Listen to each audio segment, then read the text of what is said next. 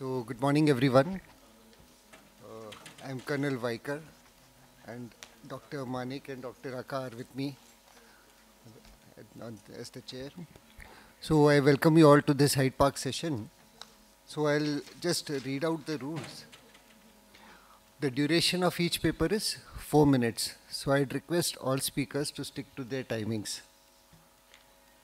So, we'll start the session now. So, I had one request from one of the presenter as she has got a session elsewhere. So I'd like to call her first, Dr. Reena Gupta. Please come and start your presentation.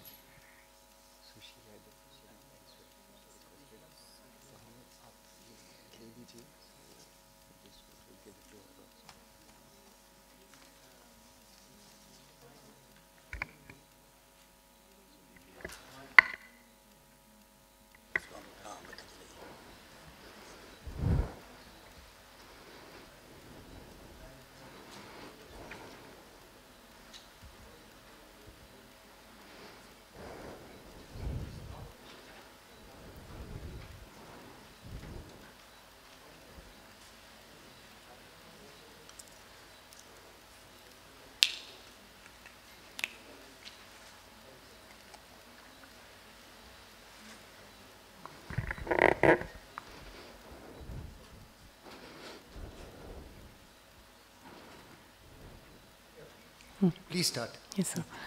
Good morning, everyone. I'll be speaking on the study of clinical profile and surgical intervention, a case series of Duane's retraction syndrome, no financial disclosure. Duane's retraction syndrome can be classified on the basis of the ocular deviation in the primary position into type 1, type 2, and type 3 DRS. And the classical clinical features include limitation in abduction, variable limitation in adduction, globe retraction, and upshoots and downshoots on adduction. The indications of surgery remain significant ocular deviation in the primary position, marked anomalous head posture, severe globe retraction, and disfiguring upshoots and downshoots. So we uh, started the clinical teological profile and surgical intervention in a case series of DRS. It was a descriptive pilot study and included all the patients who were diagnosed as DRS from January 2017 to April 2019 with minimum follow-up of six months. The methodology included written informed consent, comprehensive ocular examination, and the orthoptic evaluation was done, which was followed by MRI only in indicated cases, and surgical intervention, which was case based. Coming to the results, the total number of cases with a follow up of six months were 15, out of which uh, 11 were female, and 40% had bilateral DRS. We found that the frequency of abnormal head posture was seen in majority of the cases and patients with face turn were around 56%. 56% of the patients had strabismic amblyopia, which was followed by patients with visual deprivation amblyopia, and the uh, anisometric amblyopia was seen in the minimum number of cases. The esotropia and exotropia was seen in equal frequency in all the cases. Uh, we also had severe globe retraction with upshoots and downshoots in around 10 cases. Uh, the pattern of ocular motility was only abduction limitation was seen in 46% of the cases. Combination of abduction and adduction limitation was seen in 46% of the cases, and only adduction limitation was seen in 8% of the cases. According to the primary angle of deviation, uh, which was around less than 20 prism diopters, we defined it as small angle, and that was seen in around 50% of the cases. The treatment was surgical uh, intervention and it was case-based and it was tailored according to the clinical findings and the intraoperative findings. The different procedures which were done, Y-split with LR recession, whether unilateral or bilateral, was done in majority of the cases, followed by Y-split LR recession with MR recession, and uh, bilateral MR recession or SRT with MR recession was done in minority cases. Uh, coming to the follow-up of six months, Y-split surgery was done in 53% of the cases and unilateral Y-split was done in 41% of the cases. If we talk about the success of our results, we uh, were able to achieve significant improvement in the cosmetic um, uh, appearance and also significant resolution of the face turn with successful ocular alignment around 70% of the cases. There were only a few cases, less than 10%, in which we had residual globe retraction with residual upshoot and that was only in severe globe retraction patients. So we compared our study uh, to the findings uh, of various studies which were published in literature, and we found that similar findings were there was a female preponderance, higher incidence of unilateral cases with left eye which was dominantly affected. Type 1 was the most common. 50% of the cases had abnormal head posture on presentation. Small angle of deviation was seen in the primary position, and surgery was the mainstay of treatment with Y-split lateral recession proved to be very effective in treating the upshoots and globe retraction. The findings which were unique to our study were variable incidence of adduction limitation, equal frequency of eso and exotropia in DRS, severe globe retraction, which was more commonly seen, and both horizontal recti recession was able to treat 50% of the globe retraction. 70% success and 71% success was achieved in correcting the face turn with optimal surgical uh, optimal ocular alignment. And not much significant improvement was seen in the ocular movements. Thank you. Okay, nice presentation.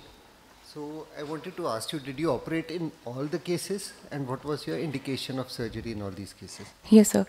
So, Duane's retraction syndrome, I have included the cases, uh, all cases were diagnosed as DRS, and all these were the cases in which a surgical intervention was done.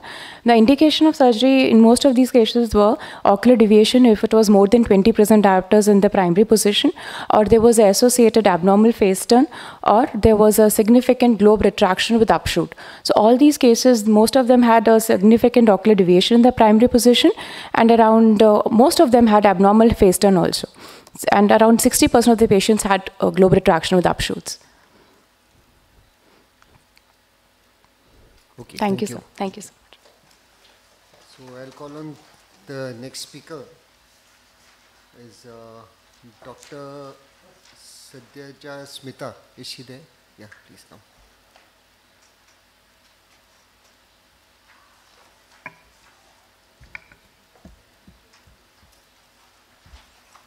¿Cosa.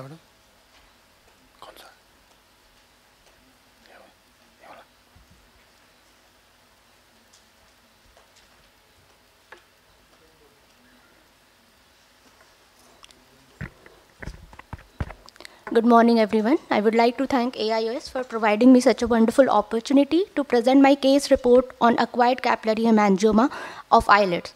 Capillary hemangioma is a benign tumor caused by abnormal growth of anastomosing small vascular channel without true encapsulation. According to the age of presentation, capillary hemangioma can be classified into congenital, infantile, and acquired. Infantile capillary hemangioma is the most common tumor of orbit and periocular area of childhood, encompassing nearly 5 to 10% of all soft tissue tumors of infancy. On the other hand, acquired capillary hemangioma of eyelid seen in elderly population is is a very rare occurrence, which makes it proper diagnosis and management very crucial for further understanding of this entity. So, which brings me to the details of my case report here. A 60 year old male presented in our ophthalmologic OPD with complaints of a reddish mass on right upper eyelid since one month, which was indeterminate in onset and gradually progressive in size. It was associated with mechanical ptosis grade 3 and diminution of vision in right eye with best corrected visual acuity of counting finger up to 3 feet. It was not associated with any other ocular or systemic complaints. On examination of swelling, we found that it was a 3.5 centimeter in length and 3.5 centimeter in width pedunculated mass with irregular surface, non-tender, non-mobile, non-compressible, non-pulsatile, uh, translucent in nature and firm in consistency. B scan of right eye was done, which showed a well-defined echogenic lesion with internal vascularity suggestive of neoplastic etiology. On the basis of clinical feature and radiological investigation, a provisional diagnosis of acquired capillary hemangioma was made. We did excisional biopsy and this specimen was sent for histopathological examination. On histopathological uh, findings further confirmed our diagnosis, diagnosis of acquired capillary hemangioma. The patient was followed up on 15th post-operative day. A small residual lesion was present on lid margin for which cryotherapy was done. Uh, acquired capillary hemangioma is very uncommon in adults. We performed a review of literature and found that very few cases have been reported so far, and most of these cases were seen in less than 40 years of age. Uh, the main etiological factor which are proposed for development of acquired capillary hemangioma are hormonal changes during puberty and pregnancy, any trauma or irritative agent. Females are three times more prone to develop acquired capillary hemangioma than males. It is important to rule out other differential diagnoses of acquired capillary hemangioma, which includes pyogenic granuloma, cavernous hemangioma, Kaposi sarcoma, angiosarcoma, intravascular endothelial hyperplasia, and acquired tufted angioma. Infantile capillary hemangioma regress spontaneously during first decade of life, but acquired capillary hemangioma do not involute like their infantile counterpart, which makes it diagnosis and treatment necessary. The treatment modalities currently available are intralesional and systemic steroid, interferon alpha, topical timolol maleate, uh, oral propranolol, laser treatment, and surgical excision the age of onset, absence of any predisposing factors, male gender, and fast progression make this a unique case. So this case is being presented to you to highlight the occurrence of capillary hemangioma in adults and need for its diagnosis and proper management. The histological, histopathological features and clinical presentation of these lesions are distinctive, and our choice of treatment, which was excisional biopsy, uh, seemed to be very successful. The lesion was removed in its entirety, and post-operative cosmetic results results were excellent. Thank you.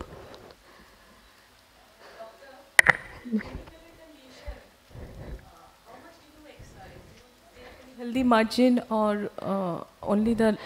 No, ma'am. We removed it uh, with uh, completely. Meaning? Meaning, like uh, there was we uh, left one centimeter healthy margin, and then all one, one centimeter. Yeah.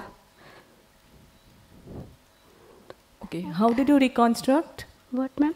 How did you reconstruct then uh, re, re reconstruct the, lid? Ha, ma'am, we with 50 vicryl suture, we reconstructed the lid. Okay.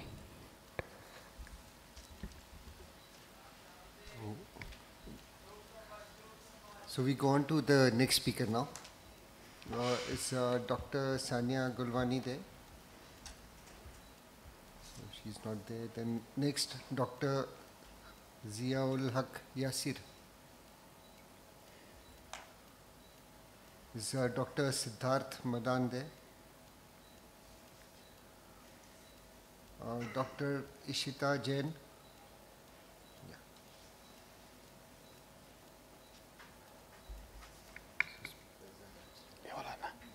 yeah.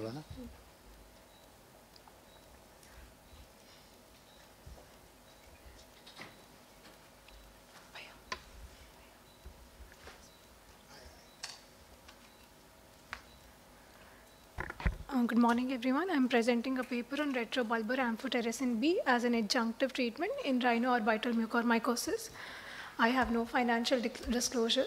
So rhinoorbital cerebral mucormycosis is a potentially life-threatening invasive fungal infection that was seen almost exclusively in immunocompromised hosts. But recently, a surge in number of cases occurred during the COVID-19 pandemic. But there is a currently a lack in literature and appropriate guidelines to use the transcutaneous retrobulbar injection of amphotericin B as an adjunct treatment modality for this infection. This case report documents are, are a case of ROCM successfully treated with TRAM-B injection uh, in TRAM-B in conjunction with uh, systemic antifungals and endoscopic sinus debridement. Coming to the materials and methods, it is an interventional case report. A 35-year-old man presented with right-sided post-COVID rhinoorbital mucormycosis with right-sided cerebral palsy. He complained of right-sided facial swelling for 15 days and was associated with dulling and non-progressive uh, on and off pain. He was a known case of diabetes mellitus since past one year with a poor diabetic control and HbA1c of 10.8 percent. He, gave, he had a history of COVID-19 infection 20 days back and uh, with a history of a hospitalization where he was given oral steroids for five days and oxygen therapy. His HRCT score, uh, CORAD score on presentation was 4 and CT severity score was 1 on 25. The MRI brain with PNS, that is paranasal sinuses and orbit, and CT paranasal sinuses showed bilateral maxillary ethmoid sphenoid uh, frontal sinusitis and was suggestive of right-sided orbital mucormycosis. On uh, examination, his best corrected visual acuity was 660 in the right eye and 66 on the left eye. Uh, on anterior segment, as we can see here, the lids were edematous, conjunctiva was chemos with superficial punctate keratitis from 5 to 8 o'clock uh, in the right eye. Uh, and the pupils had, uh, pupils were round and sluggishly reactive. Uh, the extraocular movements showed right-sided uh, total ophthalmoplegia. He was managed, he was started on uh, IV amphotericin B in 5% dextrose twice a day for 30 days and renal functions were monitored regularly. He, it was uh, supplemented with functional endoscopic sinus surgery which is FES and diagnostic nasal endoscopy with suction and clearance was done which was followed by KOH and uh, culture for the same. Uh, the right-sided exposure keratopathy was managed with lubricating eye drops and ointment and taping. So this is the timeline for uh, management of this patient and intervention. So day zero, FES was done for the right side and IV amphotericin B was started. Day four, uh, diagnostic nasal endoscopy was done and uh, suction and clearance was again done and he was ref referred to ophthalmology OPD where uh, his visual acuity was recorded in the right eye as 660. By day 10, uh, his visual acuity reduced to counting fingers 2 meters. So on day 11, 12, 13, uh, in accordance with an article published by Hirabayashi, uh, uh, we had given 0.7 ml, 3.5 mg injection TRAM-B in the right eye and the visual acuity was recorded as CF 2 meters on that day with right eye total ophthalmoplegia. Uh, one injection was given on each on 11th day, 12th day and 13th day. Uh, on 20th day, the, we noted slightly gain in the uh, um, extraocular movements and that's when we decided to repeat the site of injections again for three days, the same dose. By day 22, his visual acuity had gained to right eye, uh, sorry, 660. Uh, this was in conjunction with the IV amphotericin B that was already going on. By day 47, uh, he had restored the, the there were partial restric uh, restriction of movements and his best corrected visual acuity was 618. Uh, as we can see in the images, on day, of on day of presentation, his right eye had total ophthalmoplegia and on day of discharge, we can see the vertical ductions are present. So on discharge, visual acuity improved to 618 with partial restoration of the movements, extraocular movements. Uh, we discharged this patient on tablet posaconazole 300 mg twice a day for two days, followed by uh, OD dosage for 21 days, lubricating eye drops for the and eye ointment for the right eye, and right eye lid taping at night. Uh, conclusion and discussion. The drawback of the systemic antifungals is their limited tissue penetration, which can be overcome by the local administration of antifungals, thus reducing the burden of orbital disease. Uh, thus, uh, studies with larger sample size are needed to ascertain the role of TRAM-B in halting and progression of fungal orbital infection. These are my references. Thank you. Uh, uh, can you show the MRI plates? Is it here? Uh, Ma'am, no, I don't have it You in the it. presentation. Uh, Ma'am, uh, we have given in the late at the junction of lateral two third and uh, medial one third. Oh, sorry, um, lateral one third and medial two thirds, and uh, we use the a, um, 18 gauge needle map. We advanced it till the hub of the needle was re- uh, reached in the skin, and then uh, after a positive aspiration for the negative aspiration for the blood, we injected uh, the injection. We had reconstituted amphotericin B liposomal. Sorry, ma'am. Oh, ma'am, I don't remember. Sorry. And what was the schedule? For how many days you gave it? Uh, ma'am, three days we gave uh, 3.5 milligram and uh, uh, we reconstituted with 10 ml, uh, 50 mg vial comes ma'am. We reconstituted with 10 ml uh, sterile water. After that we draw uh, 0.7 ml, so concentration comes to be 3.5 milligrams. Then after three days? Uh, ma'am, uh, only three days we give, three consecutive days, and then we observe because the action of amphotericin B can range from 24 hours to 15 days. So we followed that.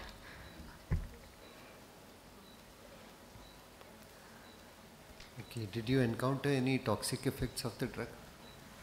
Um, no, sir, not in this patient, uh, not on the local administration.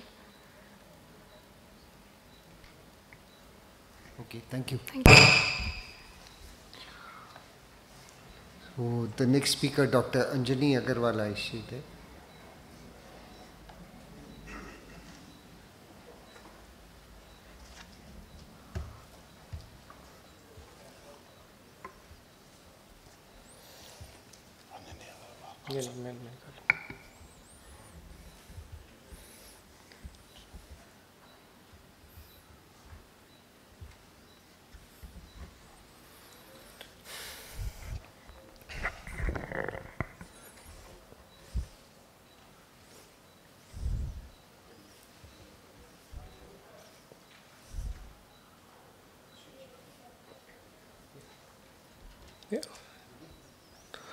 Good morning to one and all present here.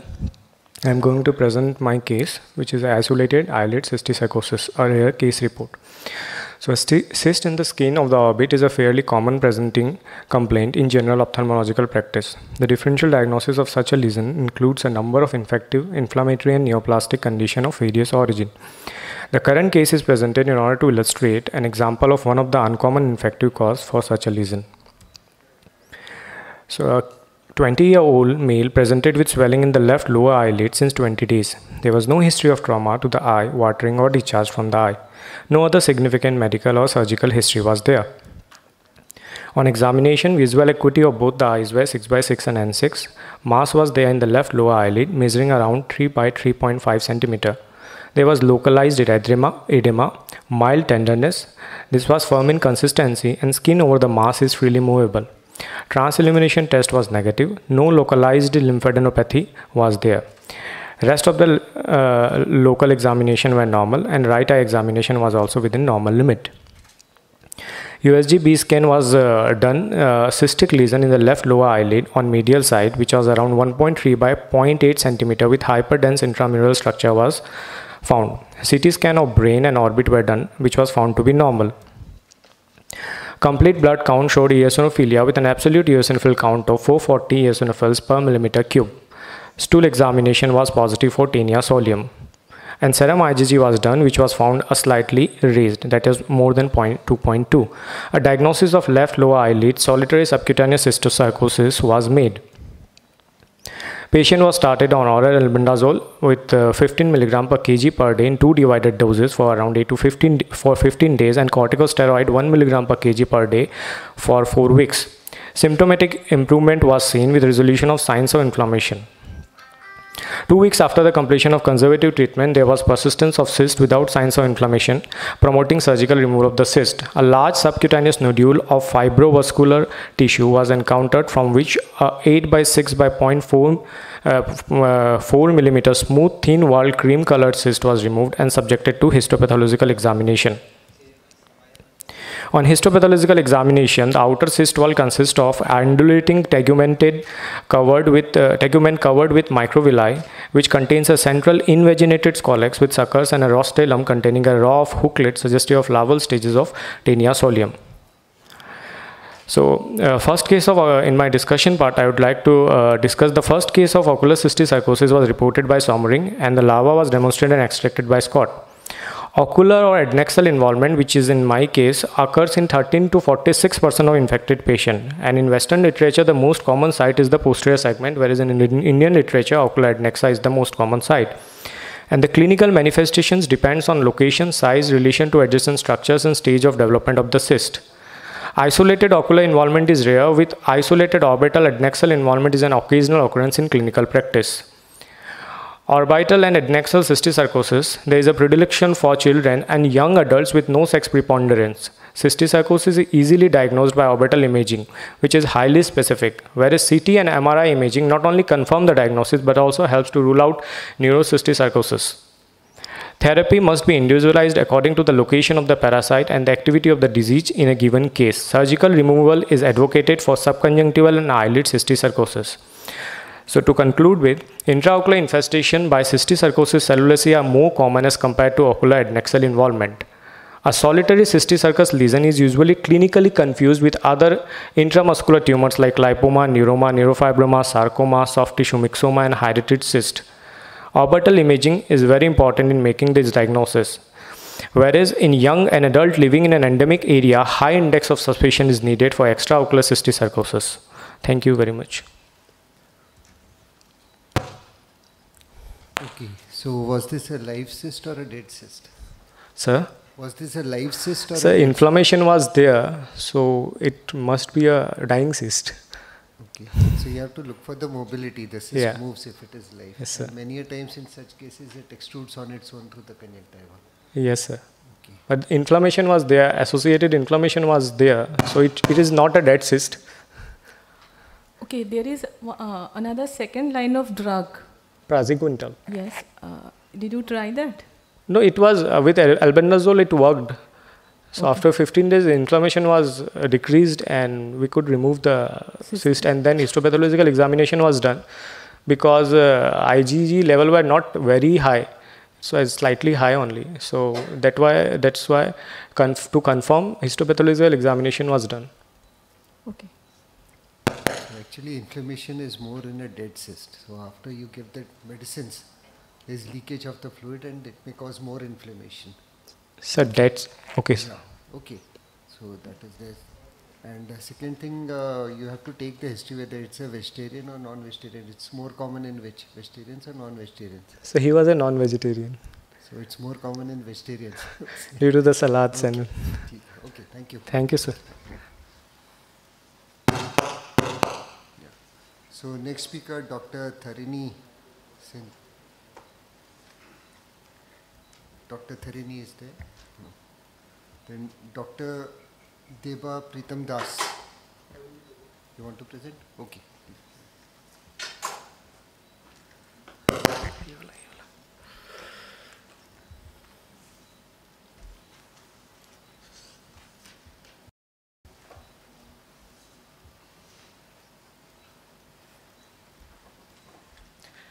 Good morning to one and all present here. Devapratim mm, Das uh, could not come uh, due to some emergency, so I will be presenting. Being co-author, I will be presenting the case.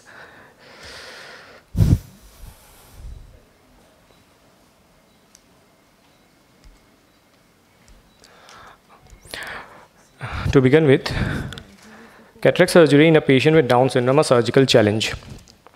To begin with, pediatric cataract accounts for 5 to 20% of blindness worldwide. Children with Down syndrome have increased risk of being born with cataract or developing cataract later in life. The frequency of early cataract in Down syndrome requiring surgery during childhood is rare, but timely removal and rehabilitation is of utmost importance.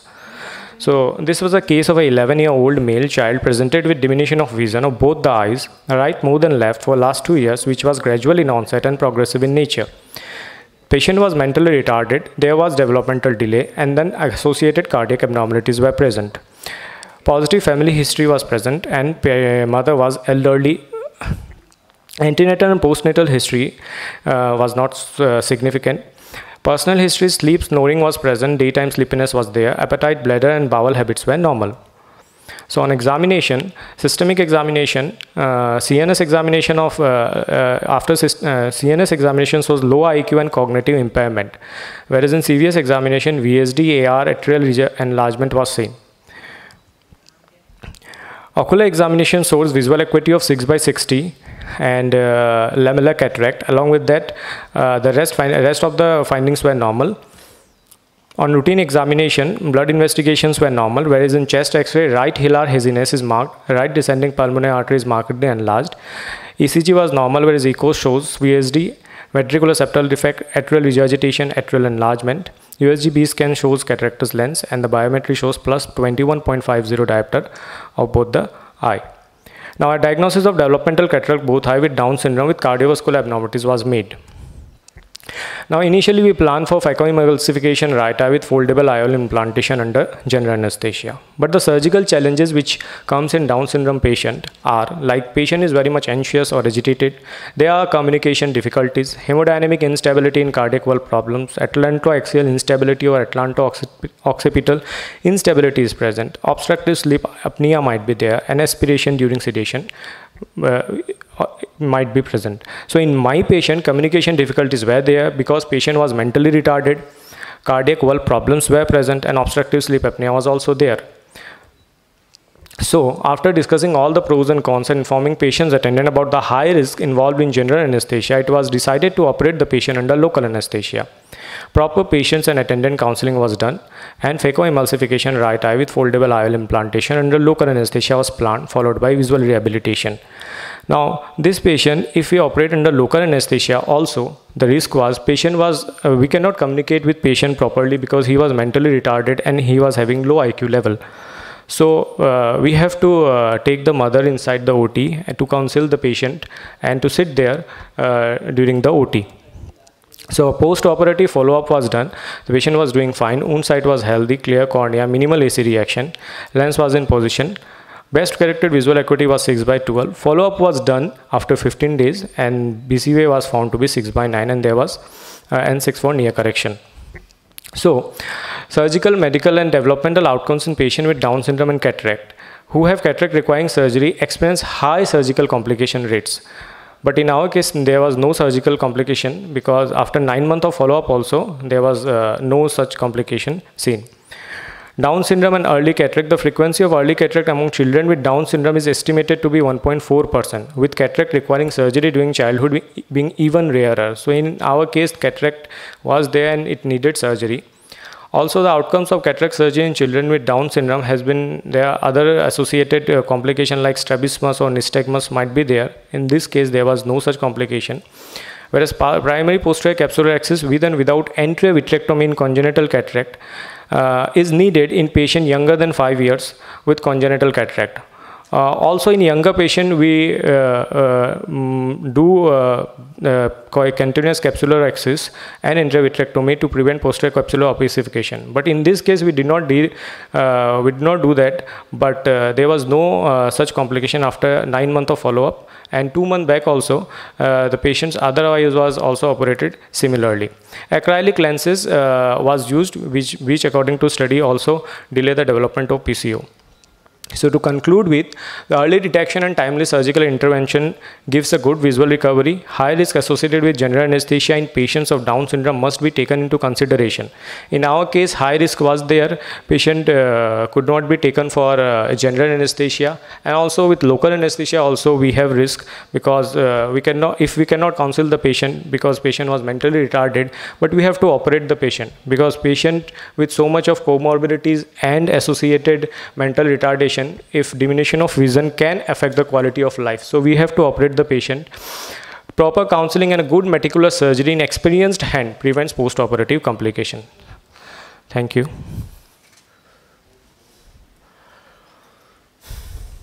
So was there any surgical challenge during the surgery? Sir? Was there any surgical challenges? you said it's a So surgical challenges uh, like uh, we thought of surgical challenges because patient during the during uh, the surgery patient might get up and we cannot do anything. Counter any? Because patient's mother was there inside the OT. She was allowed to sit there and uh, like that we have operated the case. No, no. What I am saying during surgery did you face any difficulties? No. Speaking, you your case went off quite smoothly. So yes, you sir. face any challenge. Initially, uh, anesthesia people were asked, but uh, they uh, sought high risk consent because of so much of comorbidities, and also patient party was not uh, very willing to give the consent. So we thought of operating under local anesthesia, and we have to operate the patient because uh, it was gradually progressive only, and uh, with the quality of life if patient is uh, seeing less and also the other comorbidities we have to operate. So in down syndrome patient this is a challenge. So patient cooperation is the only thing that you face. And the problem otherwise surgery as such is not very difficult. Surgery as okay. such is not. Thank you. Sir. Sedation was also not given to the patient? No sir. No ma'am. Very commendable job. Huh? Uh, very commendable job in Thank you, case to uh, discuss. Uh, that was my first question, whether any sedation was used during the surgery, because otherwise the child, it tends to get uncooperative during surgery. So even giving the block, did you all face any uh, difficulties at that time? No, low block we could give. Okay. Block we could give, okay. and then sedation was not uh, uh, done. And the other eye are you planning? Done. Two months back it was done. This was done around nine months back. There was no posterior capsular opacification, which we were like uh, uh, thinking that there might be PCO, but uh, it was. I didn't catch which lens you used. Acrylic hydrophobic lens. Acrylic hydrophobic foldable lens. Thank you. Thank you, man. Okay, thank you. So the next speaker, Dr. Dhruvil Nayak, is there.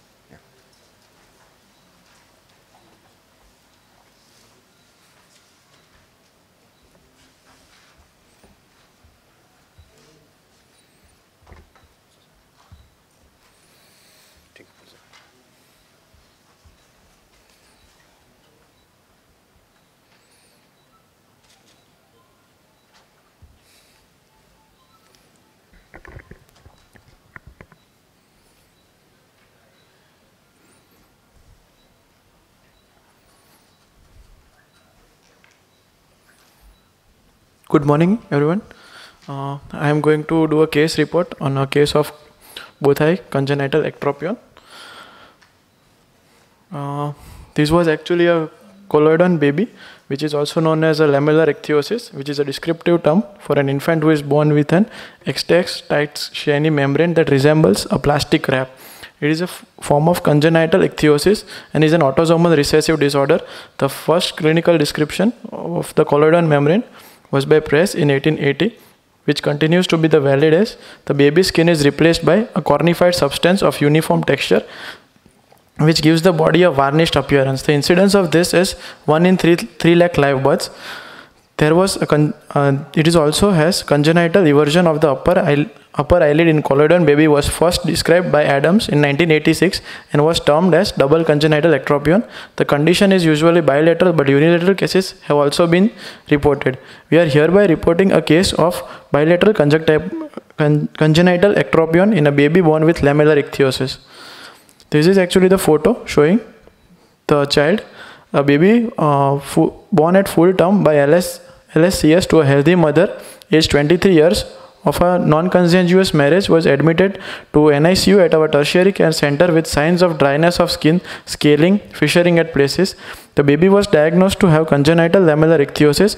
On physical examination, the whole body was found to be covered with a parchment-like membrane resembling a collodion was and was peeling off from the entire body including the face. There was slight eclabium and the mouth was constantly in an open position like a fish. The patient was managed in the NICU with appropriate fluid and electrolyte along with the prophylactic antibiotics. Emollients were advised for skin softening and moistening. So not going into the NICU and the skin part, the patient was referring to the ophthalmology department on examination. The patient had bilateral ectropion of both upper and lower eyelids. The eyelashes were missing. There was no evidence of discharge, corneal opacities, or keratitis. The rest of the anterior segment was normal. We managed the patient conservatively by use of hydroxypropyl methyl cellulose 2% eye ointment and lubricants eye drops. Thus, the case was managed successfully with requirement of no surgical intervention. This uh, the baby was then discharged, and the 15-day follow-up picture of the baby was uh, is here. Now discussing more on that, uh, the ocular manifestation can be in the form of exposure keratitis, which is secondary to the ectropion, unilateral megalocornea, enlarged corneal nerve, blepharitis, absence of meibomian gland, trichiasis, madarosis, absence of lacrimal gland, ectropion of both upper and lower lids. According to Pankaj Maheshwari et al., the underlying cases of eversion remains obscure and several possible mechanisms have also been proposed and associations have been recognized. Abnormalities, the associations are abnormalities such as orbicularis, hypotonia, birth trauma, vertical shortening of the anterior lamella or vertical elongation of the posterior lamella of the eyelid, failure of the orbital septum to fuse with levator aponeurosis, absence of effective lateral canthal ligament, lateral elongation of the eyelid, have all been implicated as possible pathophysiological factors. Venous stasis during surgery may also cause marked chemosis and the prolapse of the conjunctiva causing eversion of the eyelids. There is evidence which suggests that ectropion in collodion babies can be managed conservatively by local application of clobestrol Ectropion is in lamellar ichthyosis may respond to conservative management in early period of life in about half of the cases. The goal of management is to prevent the desiccation of, uh, of the exposed conjunctiva and allow spontaneous inversion of the lid. Surgical treatment options include temporary tarsorrhaphy, subconjunctival injection of hyaluronic acid, fornix sutures and full thickness skin graft to the upper lid. The full prognosis of the child is very good if proper care from dermatology, ophthalmology, and pediatric department is taken. A comprehensive early management in such cases have shown extremely good result, and we are able to avoid surgical intervention. Uh, in last, I would conclude with bilateral ectropion is most common ocular finding in cases of lamellar ichthyosis, which is initially best managed conservatively. Topical lubricants and proper patching with regular follow-up is the initial line of management. Surgical intervention is planned only if the conservative management does not give desired results. These are my references. Thank you. Doctor, first thing I'd like to highlight that your slides Usually, this should not be like as you see in textbooks. It should be point-wise and not more than four, five, six lines per slide. It is almost as if you have copied paragraphs from text in the few Okay. initial few slides if you note it. And secondly, the references has to be put as as we see in index journals. It is not like that. I'll take care.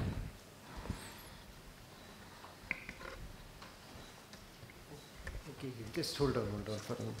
How much follow-up have you achieved in this child? Sir, uh, the patient uh, belonged to a rural area, so we could attend two follow-ups uh, in which we did not find any complication following the ectropy on any corneal opacities or anything. Okay, so up to how many days follow-up? Sir, the first follow-up was 15 days. We were able to, uh, actually, I was able to see that child. The next follow-up, I was uh, unavailable due to certain, but the, uh, which I was after a month and uh, it was uh, good, means there was no any complications. Okay, thank you. Thank you, sir.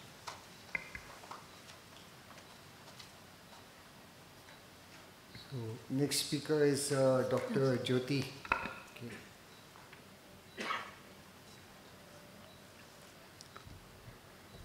Uh, so we don't have her.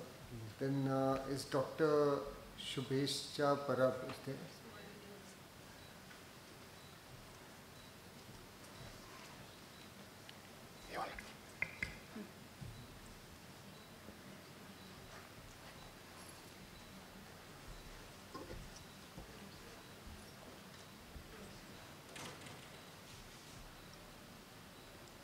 Uh, very good morning to everyone, judges and the audience sitting here. Uh, I'm Dr. Shubhecha Parab. I'm from Goa Medical College. And uh, being coming from Goa, we love fishing and we love to eat fish both. So I'm here to present a rare case of corneal perforation with a glass perchlet fish.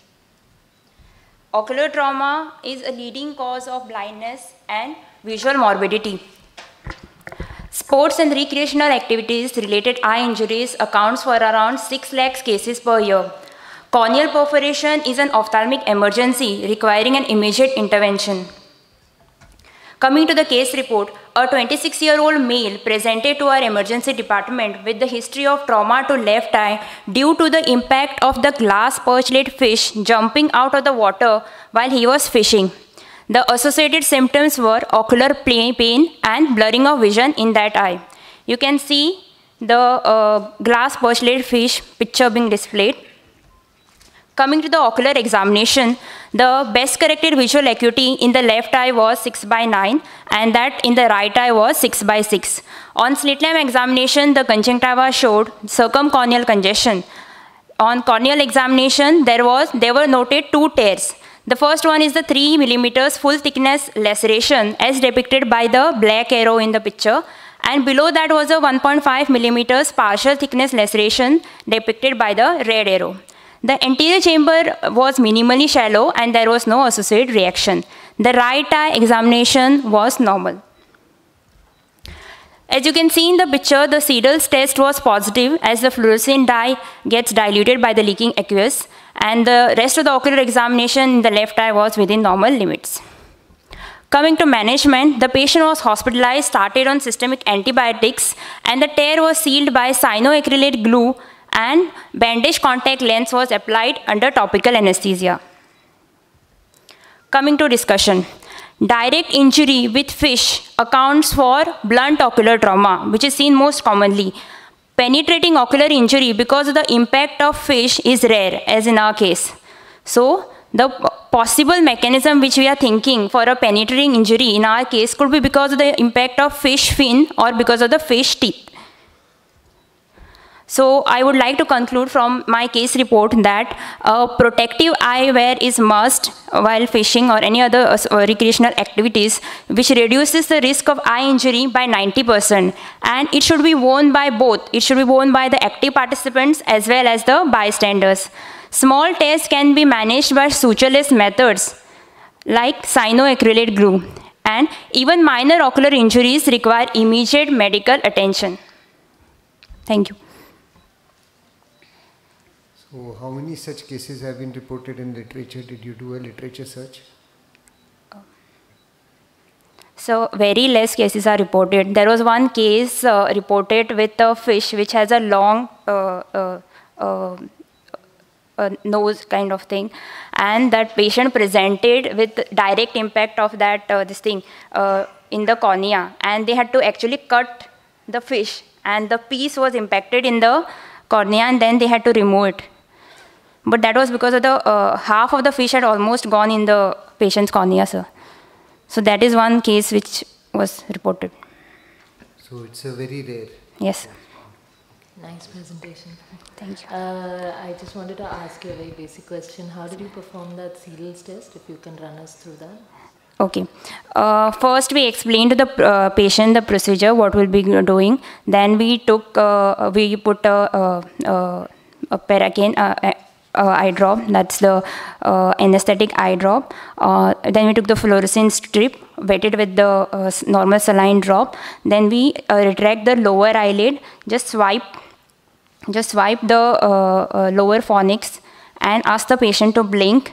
Then under cobalt blue filter, we observe the, uh, we ask the patient to constantly blink and open, open, open and close the eye. So that when the aqueous gets leaked out, the fluorescein dye gets diluted. So you can see the, uh, uh, it's, uh, the dye getting diluted can be seen. So, tell me, did your patient manage to catch that fish which you showed? Yes, sir. This this picture this picture was brought by him only to show us. So actually, this picture is from the patient only. okay, thank you. So next, uh, Dr. Soumya, sorry doctor Shilpa Somanlal Somanlal. So doctor Rajneel Bhattacharya.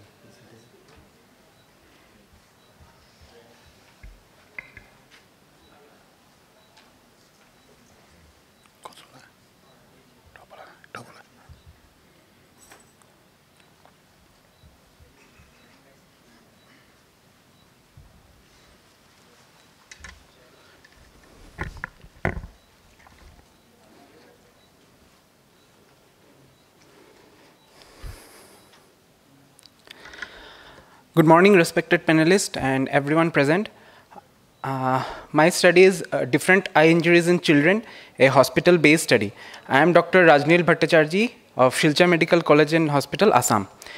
There is no financial disclosure or conflict of interest. Eye injuries are a cause of major under-recognized disability and ocular morbidity that affects the young to a great extent. It is a leading cause of non-congenital unilateral blindness in children and thus ocular trauma is the most common avoidable cause of childhood blindness. Children are more prone to ocular trauma because of their predilection towards hazardous play, outdoor activities, and relative lack of judgment. As such, all ocular injuries cannot always be prevented. But by identifying underlying factors in the etiology of serious injuries, it may be possible to reduce uh, it may be possible to find out the most effective method of reducing the incidence of visually damaging trauma. The aim of the study was to investigate the causes and outcomes of different ocular traumas in children. It was a prospective observational study. 100 children up to 15 years of age presenting to ophthalmology OPD or emergency department with eye injuries over a duration of one year were included. The inclusion criteria were children up to 15 years of age with ocular injuries, and exclusion criteria was children with any pre-existing ocular diseases. Various information was collected on the demographic details of the child, the cause, mechanism, site, and place of injury. Thorough ocular examination and necessary investigations were done and appropriate treatment was given.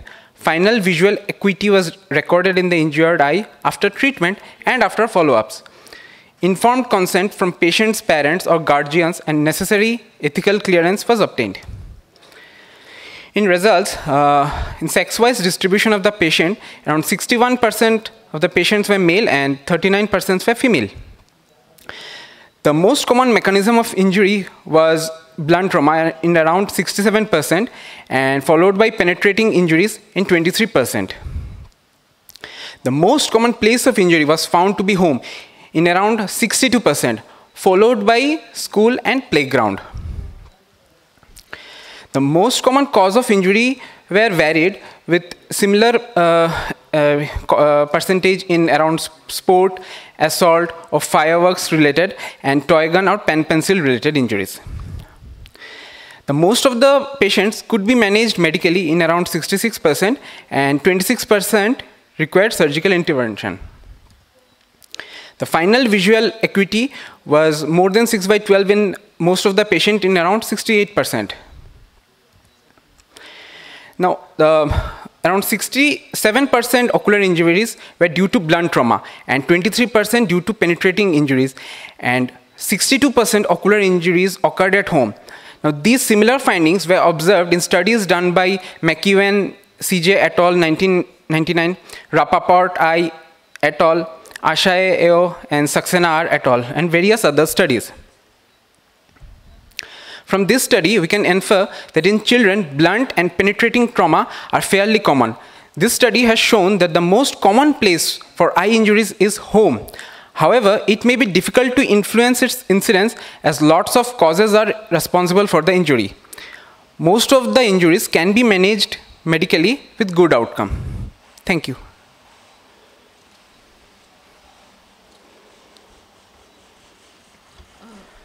Have you compared with any other studies? Yes, ma'am. Almost similar findings where there. Those studies also show that uh, there are, like in home is the uh, most common cause or while playing. similar findings were there, ma'am. Lots of studies. Few and studies. Anything new, anything different from the other studies, what you got here? Uh, my findings were similar to other studies which I found, but the what thing I was like uh, surprised in myself also and some other studies by uh, study was that the home seems to be the very fair common place for injuries. We have found lots of patients uh, getting uh, uh, this uh, per corneal perforation or this due to in home while playing with their siblings or due to other children. Very fairly common or the house home related injuries were very common in this periphery and some those cases. Uh, I missed the year in which the study was done, but just a point, did you notice that it increased in the last two years when most children were at home during COVID? Uh, yes, ma'am. Yes, we found there was more cases. We're coming into our OPDs and emergency department. Okay, and one more question. You said 66, or maybe I don't know. Yeah, okay, 66, 26 medical, surgical. Uh, any idea what that breakup was like and what the visual outcomes were in between those? Uh, Ma'am, uh, this uh, most cases medically managed were the like mild ecchymosis or this, uh, just uh, some hyphema maybe, but uh, those perforating injuries had poor visual outcome. However, their time of presentation drastically improved their follow-up this vision because if they presented very late, then we could not recover their vision very properly. I'm just asking because it might be interesting to analyze that to make the yes ma'am. yes ma'am. I need to do this study further like in child proofing in the homes. This is a very important thing ma'am. Especially in periphery uh, even in fairly uh, good homes the uh, parents are a bit uh, conscious and the, the, injuries are little less.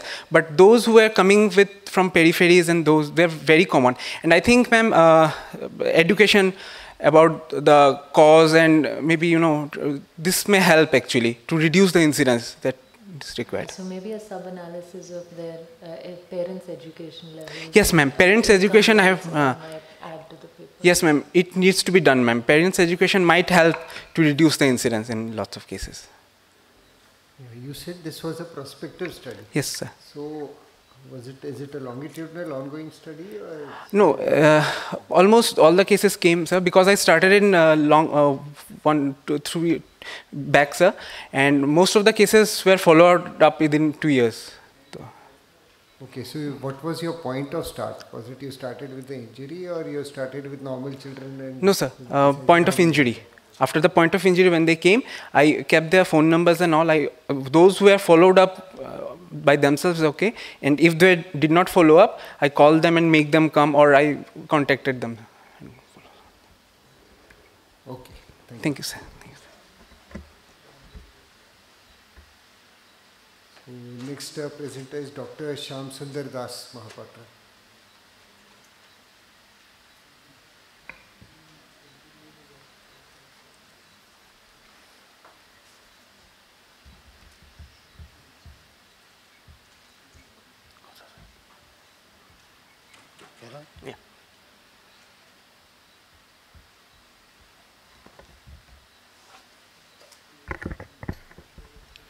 So good morning all.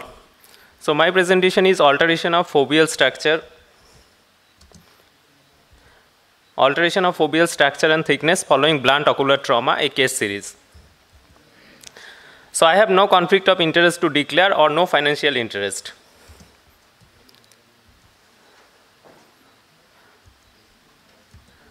So coming to the introduction part, ocular trauma is a preventable public health problem and it is one of the commonest cause of ophthalmic morbidity and monocular blindness. Excuse me. This is changing automatically. This is changing automatically. Please stop it. इस जाएगा अपने आप ले जाएगा It's, it's,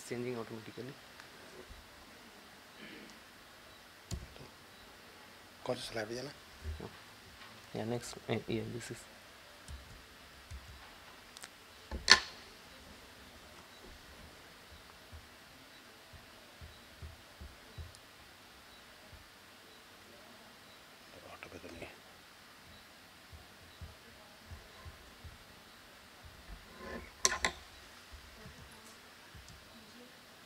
So sorry for the interruption.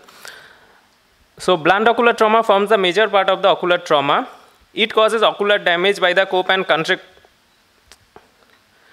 coup and contrecoup mechanism or by the ocular compression. Courville was first to introduce the concept of coup and contrecoup injury by explaining the brain damage caused by the blunt trauma to the head. Later, Wolter explained the eye injuries by blunt trauma using the same concept. Commotio retinae is a transient transient retinal opacification due to the no? You can exit slideshow and just present it as uh, exit slideshow and just present it. uh, slide uh,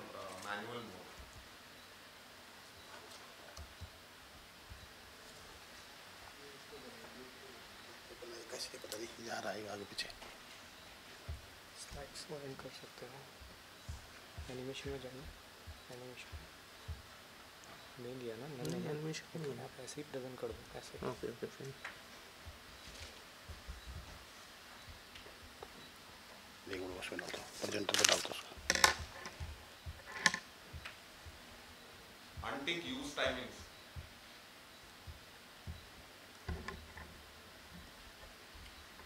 ये ये अच्छी कर लीजिए अब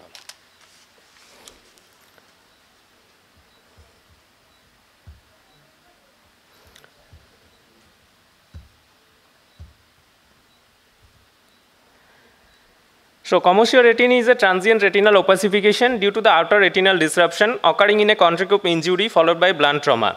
Histological studies. Uh, can I present uh, in this mode? Yeah, sure. You don't have to present it in the slideshow mode. Don't worry. It's fine. You uncheck this one if you can.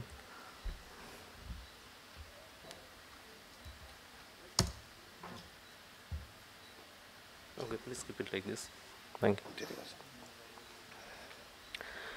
Histo- histological studies have revealed that disruption occurs at the level of photoreceptor outer segments and retinal pigment epithelium.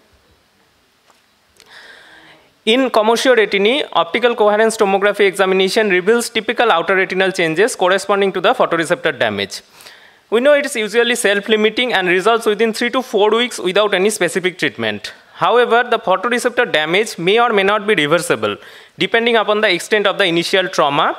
Thus, the visual loss may be transient or permanent. So the purpose of this uh, presentation is to describe the alteration of foveal structure and thickness following blunt trauma in three cases. Coming to the case one, this is a 35 years old male was referred to our hospital three days after sustaining injury with a cricket ball to his left eye. On presentation, he had a visual acuity of 6 by 6 and N6 in OD and 6 by 18 N10 in left eye. The anterior and posterior segment examinations revealed post-traumatic iritis, angle recession and commotio retinae in left eye with normal intraocular pressure in left eye and right eye findings were within normal limits.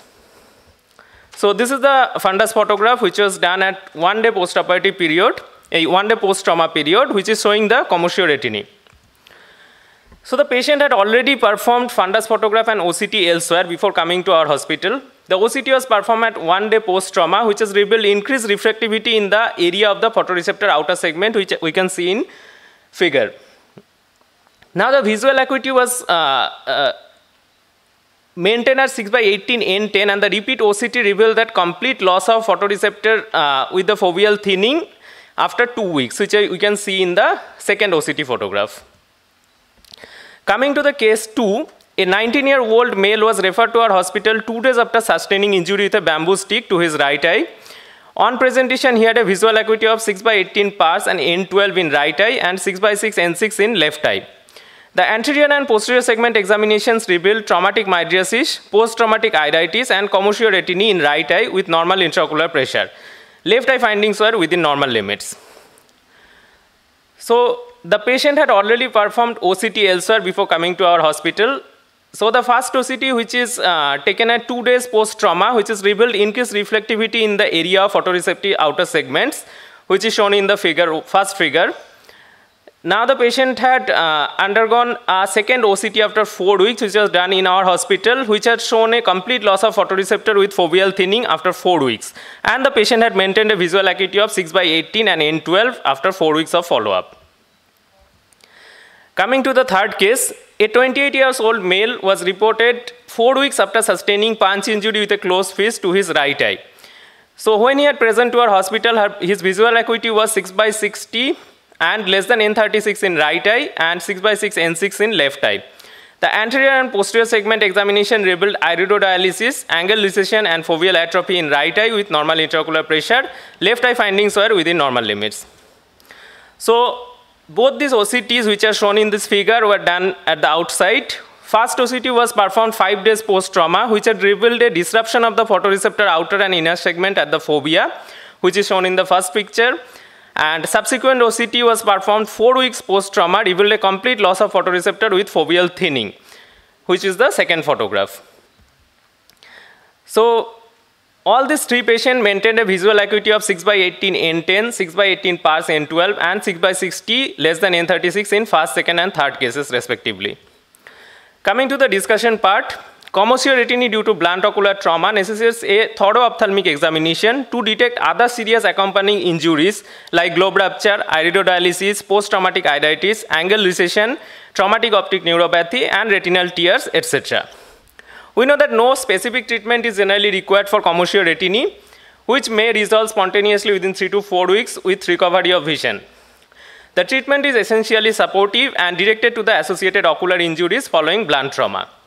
The visual acuity in commotio retinae varies from 6 by 6 to 6 by 120 and may not always correlate with the degree of retinal opacification. The vision loss may be transient or permanent. The major site of retinal damage appears to be at the level of photoreceptor outer segments. OCT shows involvement of the photoreceptor outer segment with preservation of the inner retinal architectures, which also correlate with the histopathological study by Sipperley et al. So in conclusion, vision loss following blunt ocular trauma can occur due to various reasons which are yet to be elucidated completely. Alteration of foveal structure and thickness is associated with permanent vision loss following blunt ocular trauma. Clinical examination and evaluation using OCT may help in detecting the foveal sequelae and visual outcome in eyes with blunt trauma. These are my references. Thank you. So could you tell me the findings of your second case again, the anterior segment and posterior segment findings of your second case of the case series? Yeah, yes, sir. The second case, sir, anterior segment findings was traumatic iritis and there was post uh, traumatic mydriasis. And posterior segment was only commotio retinae. There was no other complications. Okay, so in all your cases, there was a severe trauma which involved the. Eye. Yeah, third case had the most severe trauma, but the third case came after four weeks. They had done all follow ups in outside hospital, and after that, they came to us. And here, like first examination, they had done in other hospital, and after that, they came to us. So, what is the aim of your this thing? What do you want to project out of your case series? Because, sir, most of the times we uh, face many of the cases with commotio retinae in trauma cases But most of the times we see that visual recovery is excellent all the cases. Most of the times they recover completely. But these are three cases which we found that there was no visual recovery at all because there is a loss of photoreceptors within two to four weeks of the trauma. So it may not be predictable always that how the patient will. Uh, Could you correlate with any other uh, cases which recovered? So what is the difference between those which have recovered and those which have not recovered?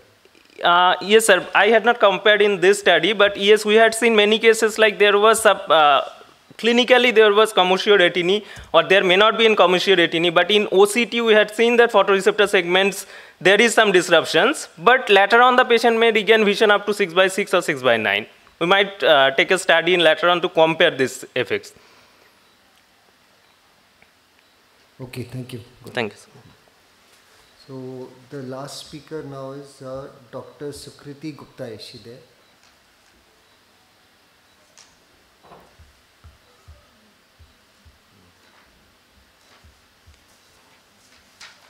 So any other speaker who was absent earlier has come later.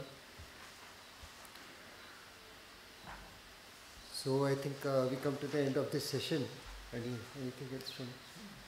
Okay, thank you all for patient listening. All excellent. Thank you. Thank you so much.